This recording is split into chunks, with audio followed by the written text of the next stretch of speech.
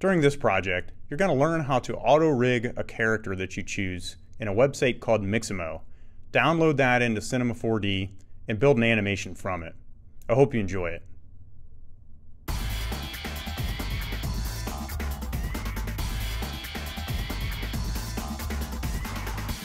So to get started, I'm going to set up the basics of a scene. I'll go up and drop in floor and a physical sky. You can make your scene as complex as you'd like.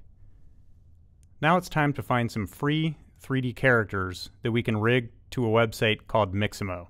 If you do a general search for free 3D models, you'll come across Clara.io, TurboSquid, and Thingiverse. Each of these sites has downloadable models that you'll be able to auto-rig. For Clara.io, you can go into their library. You can do a general search for a specific type of 3D model, their default model categories, or you can just scroll down through the models to suit your liking. Notice at the bottom of the first page, it shows that there are over a quarter million pages and a ton of models for you to use. The type of model that we're going to use is going to have to be in a T-pose. A T-pose looks like this. The arms are outstretched, the legs are straight up and down, and the character is basically just standing there. Models like this, with the arms touching the sides of the legs, or in different types of poses won't work for this rig so stay away from models like this Hedgehog. Models like this Assassin's Creed would work perfect. So I'll click the Assassin's Creed. I can preview my model to see if it looks good to me. When you're ready to download your character, click Download, select FBX, and then click Download your file. To preview your file, double click to expand, and your FBX will show up on your desktop. Now it's time to go to a website called Mixamo. If you haven't signed up for Mixamo, it's free. All you have to do is include an email, give yourself a password, fill in your first and last name, and you'll be able to use the program. Once you're into Mixamo, click Upload Character, and drag your FBX file into this area. Once your character loads into the auto rigger, it will preview like this. Click Next, and now we need to place markers on our figure uncheck use symmetry unless your character is exactly symmetrical. For the chin marker, place it over the chin, drag the wrist markers up to the wrist area, align the elbow markers, the knees, and the groin. If your model is perfectly symmetrical, by clicking the Use Symmetry button, you'll have half the work to do. Once you've accurately arranged the markers, click Next. And in just a couple of minutes, Mixamo will rig your character for you. Once your character is auto-rigged, preview it and make sure everything looks right. If your markers were misplaced, click the back button. If the figure looks good, click next. Click next again, and your character will load in the character viewport. Now it's time to assign an animation to it. At this point, we can do one of a couple of things. We can decide what we want our character to interact with in the picture plane during our animation in Cinema 4D or we can just choose an animation that interests us and build as we go. Both approaches have their own merit. I'm going to click Animations, and I can choose from any number of animations that are loaded into Mixamo. You can click through multiple pages, or you can do a general search for something that you specifically want, an animation genre, or something specific to your concept.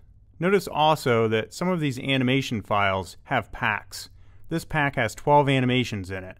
I'd steer clear of those for this project and select an animation that just has one file. For my animation, I'm going to have my character jumping down. So by clicking that animation, it will automatically load into my picture viewer. I can make some adjustments to my jumping down.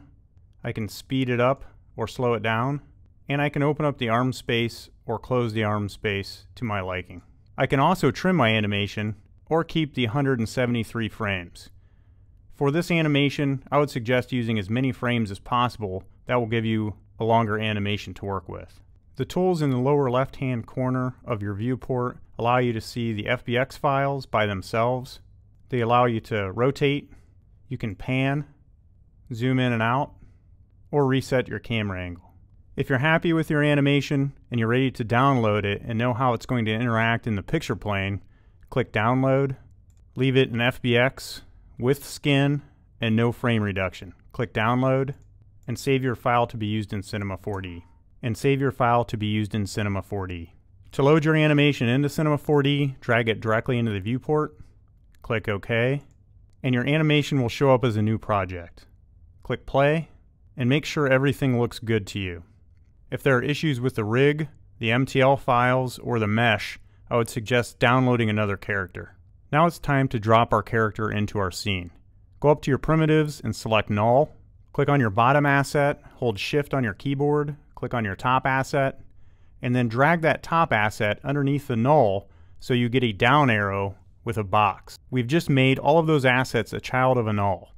We're going to click the minus, click the null, then go to edit, copy, window, select our scene, edit, paste. When you drop your character into the viewport, scrub through your animation to see the movement. If you don't see anything, go up to your split screen and navigate to where your character is. Mine looks rather large in space and I don't see it within the picture plane so I can go to a left or right view, scroll out until I see it, and then navigate to place it in my viewport. Another way to bring your object into view is to click on the null and hit O on your keyboard. O will bring the object into the viewport centered. Click the play button and make sure your animation looks good to you. Notice by default 90 frames are showing up in my timeline. To stretch it out to the 182 frames that I have in the animation, I can grab this tab and pull it to the right. Now when I hit play, I can view the entire animation. Remember one of the goals for this project is to have our character interact with something in the picture plane. In this case, I'm going to select a cube. When I dropped the cube in the viewport, it showed up quite small. So I'm going to go up to Scale and drag off to the side to scale my cube up. Click Play, and then I can make adjustments if I need to. I'm going to scrub back to frame 0 go up to split screen, and again I can use any of these views to navigate as I wish. When you're happy with the assets that you've added for the interaction of your character, it's time to add some material to that object or those objects. One resourceful way to add materials is to go to your content browser. Click the tab Content Browser, double click Presets, go down to Visualize, click Materials, and several types of materials will be shown in these folders. For my cube, I'm going to select a stone material. In order to place your material, all you have to do is drag it down into the Materials Manager and then drag it onto your object to place it. I can also drag it up into my Objects Manager on top of my object. At this point, you might want to click Render View just to see how things are rendering. I'm happy with how this looks, except for the floor, so I need some material for the floor as well. I'll go back to the content browser, click the up arrow, and find a material that would, that would look good for the ground. Double click ground in this case, and I'll grab some sand. Drag it down to your materials manager, and then drag it onto the floor. Click render preview, and the floor looks much better with that material. I do notice an issue that I have with my character in the light setting that came in from Mixamo. It's cutting up the floor and mixing up the material. So I'm going to go up to my null and I can make an adjustment to that simply by clicking the light preset and hitting delete on my keyboard. Now I'll collapse that null and hit render again. This render is a much more natural look. If you choose to make an adjustment to the sky. You can click physical sky, go down to load sky preset, and you can choose from any of these looks for your sky. Notice that not only did the sky color change, but the lighting changed as well. I'll hit render, and I can get a look at what that sky render will look like. I can also go down to load weather presets and I can adjust the weather look in that sky preset. I can also adjust the atmosphere, add fog, rainbow, sunbeam, so on and so forth. I would suggest working with these functions to see what your physical sky looks like as you click through them. With the adjustments that we just made to the physical sky, this render view may take some time. One quicker way to access a render is to go into that split screen, click on your perspective view, and then click render view. If you're happy with what your scene looks like, it's time to finish the scene up. Go back to your perspective view, we're going to drop a camera into our objects manager. When we click this little white icon here, that turns the camera on. Notice we have yellow dots on either side of our picture viewer, the top and the bottom, and in the middle. That denotes that the camera is active. In order to add movement with a camera, we can drop a keyframe on frame 0, scrub forward a few frames, and then use the navigation tools in the upper right hand corner to move left or right, zoom in or out, orbit, or you can hold Option on your keyboard or orbit around that way. Once you're happy with your first movement, click the keyframe, and then preview your motion. To add more motion, just scrub forward, move your view in your viewport, drop another keyframe, and then preview your movement. Scrub to the end of your animation and move to where you want to view the scene in the end. Drop one last keyframe and your animation is complete. It's good practice to preview your animation and just note that you can move the spline that's attached to the camera to change its action at any point. You can also move keyframes through time so that your animation takes on those actions during those frames. When you're happy with your work, go up to Render Settings, click Output, select All Frames, click Save, switch from TIFF to MOV. For the render, click Standard, and select Physical. Go to Effect, select Ambient Occlusion, back to Effect, and select global illumination. Click out of the render settings and let's save our work before we render it. Go to File, Save Project with Assets, and name it. Select where you'd like to keep your file, click Save, and at this point you can either render the animation on a designated render server or you can render the animation in Cinema 4D.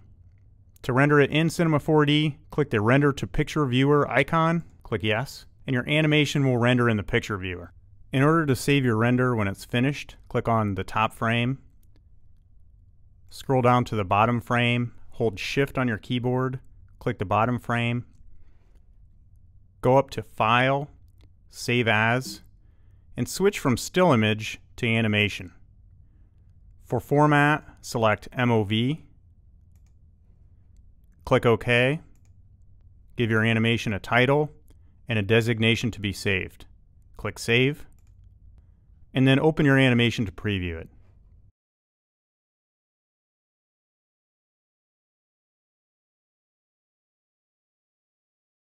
In order to finalize our animation, we're going to use iMovie. So click iMovie in the dock, click Create New, select Movie, drag your animation directly into iMovie, and at this point we can start editing. The first thing we're going to add is a title. So click Titles, and you can preview how the titles will look just by scrubbing through them. Select a title by double clicking, and you can either shorten the duration of the title or extend it.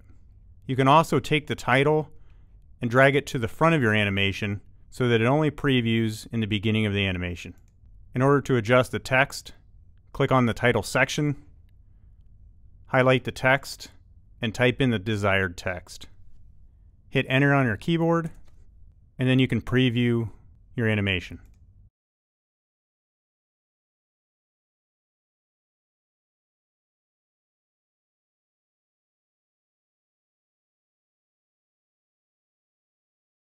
In this case, my title was showing for, for too short of a time, so I'm going to go ahead and drag it out for a few more seconds.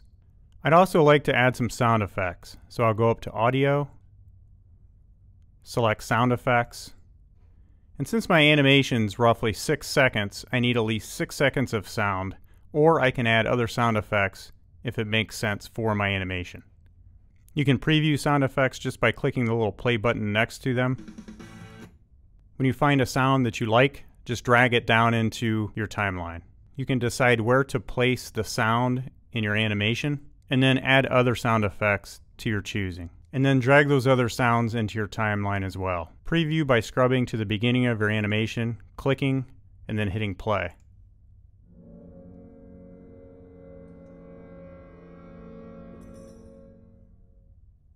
In my case, I'm not happy with how the character lands and where his hand placement is. So I'm going to go ahead and crop my video down a bit. To crop it, I'll go up to the crop tool, I'm going to click Ken Burns. And for ending, I'm going to end my animation above his hands. Hit return on the keyboard and then preview my work.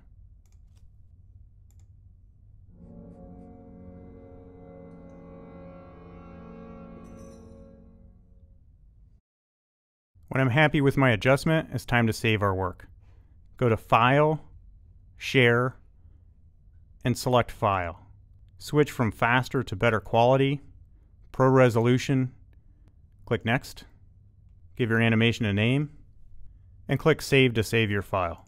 Pay attention to the progress wheel on the upper right hand side of the application. This shows the activity as it's being exported. When the share is exported, you'll get a prompt, and then preview your file.